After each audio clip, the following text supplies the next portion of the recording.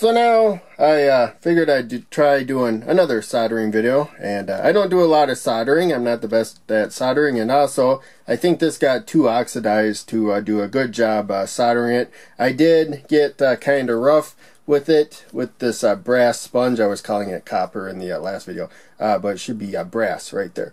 Um, so you see a lot of videos of people really jabbing that in violently to help scrape off some of the oxidation. I did that more violently uh, before I made the last video than uh, when I made the last video because I was trying to uh, just um, you know get excess stuff off of it and uh, try to let the tip tinner and the solder um, you know do the rest of the cleaning. But in any case um, this is a new uh, tip uh, right there this is what they were. And so um, you can see it's like smooth there and it's kind of jagged there. So solder does a pretty good job um, when it, this gets hot enough of uh, coating this um, where it's uh, you know like a little roughed up I should probably say instead of jagged.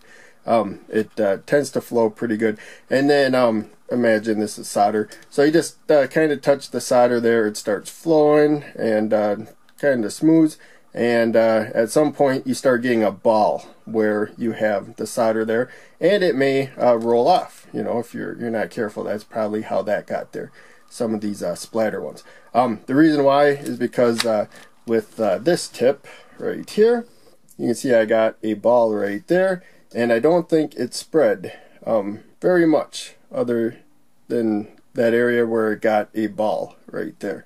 And uh, this one you can see, um, you know, we got a big blob on there. I'm trying to get solder on it um, so that none of the metal, the steel, is exposed to air. Get a layer of solder over it before it cools down and then uh, clean it off and uh, put another little layer of solder on there which is uh, tinning it, you know, maybe use flux and whatnot or a tip uh, tinner here uh, before you put a little solder on there uh, but uh, that thin layer of solder will help uh, protect it while you're working on your project and uh, also it helps transfer heat. So now this iron here has adjustable temperature so that's in Celsius and uh, it's probably hard to read. I don't know. Yeah we'll get closer. Uh, but in case that's 350 right there 400 and 450 and then 300 250 and 200 right there and I've been finding that to really get this to heat up, I kind of have to start off with the full uh, temperature right there. But when it looks like it's probably hot enough, um, looks like I need to be, you know, somewhere close to like 400 degrees. Uh, maybe I can go lower. I believe when I tried doing uh, 350, it wasn't uh, melting the solder that I have. So I have uh, this solder here, and I don't know how accurate this is either. Um, maybe my outlet's not providing the power as other people. Um, but in case I'm using this uh, solder there, so it says tin wire tube, uh, 70 30, so I think that's 70 tin and 30 lead, I believe, and then it has a flux in there. So, as I said before, I'm uh, 450 right there, and I already noticed that uh, the solder is uh, melting on uh, to this right there. It's flowing and uh, at some point there's going to be too much and uh, it's going to start dripping off. I'm going to lower it to uh, 400 once I notice that it, uh, maybe I'll go a little bit lower than 400. Uh, but in any case, once I notice started flowing, I'm going to try to uh, clean off that extra that I left on there just to make sure there's a thick layer to keep it from oxidizing. We can kind of twist it. And um, so yeah, I believe we still have a little on there. Um, maybe I could uh, do some uh, tip tinner. I did that in an earlier video. But as long as it flows, and a little bit of it splattered I mean, as long as it flows on there, that may have been a little uh, too much, then um, I should be uh, pretty good. That should be tinned and ready to go. When it comes to the uh, tip uh, tinner, and um, I misplaced this little sticker. It does come with the double-sided sticker so that you can stick it to stuff. Um, but in case, I think I should brush this off. If I think I need to clean it a little bit more, I'd probably uh, get the tip tinner here, right there. And um, I'm going to try lowering the heat a little bit right there and uh, seeing how good uh, we do. So I believe when I was still in the red when I got lower, it, uh, it didn't do uh, too well. So get uh, that tip with the tip tinner. And then uh, I think that's all we need to do. Kind of, I think that's more to clean it off than to actually uh, tin the uh, tip. But yeah, there you can see the solder um, once the uh, flux uh, burns off. That's the smoke. It is uh, coating that. You don't really see it pulling up a whole terrible amount right there. But yeah, we should be pretty good right there. I believe. Again, I don't do a lot of soldering. I haven't even watched like a ton of videos, um, but uh, I think that's pretty good. I'm going to stick it in my helping hand holders and we'll go to the next scene.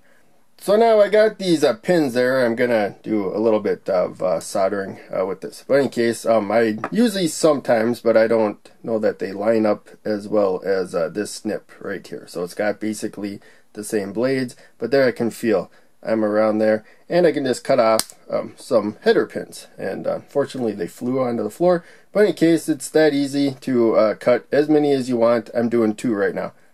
And in the last video I did uh, some soldering on this board. I'm kind of repeating the same pattern. So there you can see the uh, longer pins are up. That's where we can uh, plug in uh, some jumper what are they called? Wires. Um, so I find it's best to insert them like this. And then um, I'm going to put them into the uh, breadboard right there. I find the best thing to do, if I tip this, the one that's not solder will uh, fall out, of course. And uh, so I find this is the best way. Take uh, the breadboard over there on top of it, make sure they all um, go into that uh, far row right there. Um, but in case, um, usually I do this all upside down. Um, but yeah, push it in right there. And now it's going to hold it uh, in place. There you can see it's the two pins that are not soldered right there. So I think we're going to get about as good of a view as we can. Uh, I got this at about uh, 375 according to this. I don't know how accurate it is. I've had this solder kind of uh, sitting there. I'm just going to kind of uh, brush it off right there. And then I'm going to uh, retin it uh, right before I use it. And so yeah, hopefully this heat works good. But yeah, there we can we can see not too bad right there. And let's see how well the uh, solder flows over this at this temperature. So yeah, looks like uh, this might be a good temperature uh, to use right there. Maybe I can go lower. So I've been told on other videos you want to go as low as possible. And then you want to preheat um, both the uh, wire that you're soldering and the pad right there and uh, I find that uh, I usually have to touch the solder to the wire to get it flowing but um, you know that heat from the uh, pad and uh, the wire there that we're heating um, helps it flow in that direction once you bring the solder uh, towards there. So we got kind of a ball there. So I'm going to go kind of easy with how much I uh, apply right there. And I believe I'm being hindered by not uh, seeing too well, uh, trying to look from behind the camera. But I think we did all right with those two. So now I'm going to uh, get uh, kind of a layer of a solder on here, as I said before. Maybe turn it that way, hopefully not too much right there. And um, let the flux burn off right there. But now I'm going to unplug this. I'm going to put it in the holder and um, let that solder just uh, sit there. So now, um, to uh, take a look at these, really the camera doesn't uh, pick up uh, much detail. So I've used this loupe before. This is called a uh, jeweler's loupe. And hopefully, there we go. Yeah, I'm at the top left. That does have uh, letters and uh, numbers as well on the board. Um, I think numbers are on the other end of the board. Um, but in any case, we go down. That should be right there. The last one that I soldered right there, which I think probably doesn't look too bad right there. This one might need a little bit more solder I don't know. Um, but yeah that should be perfectly fine. You can see that we can't see any of that ring right there. So we should have a solid connection. Um, so this is what I did uh, last night um, with the same setup that we just did the uh, new uh, tip and everything but I wasn't uh, holding the camera. So maybe a little uh, more solder than I need right there but I don't think it would hurt anything. And I think this one over here is a pretty good one. Um, and then we also got uh, these two uh, right there, which I originally, I think I tried to do at uh, either 350 or 300 uh, Celsius on the uh, soldering iron, uh, but I had to turn it up and heat it up higher, um, whatever I had it set. And you know, I tried starting, I believe at I can't remember which which one of these it was, um, with it uh, at like 400, and then I tried tapering down a little bit uh, each time. I think I worked my way down, and um, but uh, I think ultimately when I'm close to like 400, I was getting the best results, which I think I got over there. And um, so I believe one of these I did with the uh, maybe I think it was over up there actually. Um, this one up here I believe I did before I made uh, the videos. I had too much uh, solder on the iron when I started uh, soldering and like a big blob came down and so I'd have to like uh, remove it. But in case, uh, yeah, right there, I'm pretty sure, yeah, those were definitely with uh, the one that I had oxidized. And yeah, I still think they're like okay. And that blob was again, I had a little too much on there. So um, the solder kind of balls up on to the oxidation and then um, like at the wrong time it can fall off and it happened to fill uh, that. And I believe that's uh, also what happened with that little splatter right there. And also um, with uh, this one, I'm going to try practicing um, uh, leaded uh, components um, some more right there. They're not stiff like this. Um, spreading them out so it kind of holds the component in place before soldering. But again, this is when um, probably was even more oxidized than before I started filming the last video because I did kind of uh, try to roughly uh, clean it. I believe the LED may have inspired me to get more aggressive in uh, cleaning it. Um, but I was putting like a little ball on there and kind of transferring that uh, ball.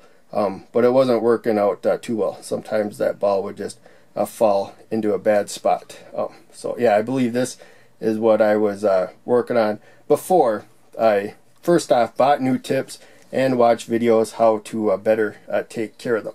So a lot of them involved, uh, you know, the soldering iron's off uh, right now, so it should be cooling down. But it involved, you know, aggressively uh, punching this into there and wiggling it around and, and stuff to get some of the oxidation. out. Other people like grind off the oxidation and other stuff. Um, but I watched uh, one YouTuber in particular that I felt was really confident. And uh, where is it? Um, but uh, yeah, I don't know where the tip tinner went. But uh, yeah, he uh, used the tip tinner often right there. He, if it was like iron was sitting in the stand for like a while, First, he did like a tip tinner, uh, kind of cleaned it off. I think he went a little more gentle with cleaning it off, just made sure he got all the uh, stuff off. And then, uh, you know, put like a little layer of solder on there to like tin it uh, before working on his projects. And, you know, he would just, you know, keep working on his projects um, with the, uh, with the uh, solder, solder, yeah.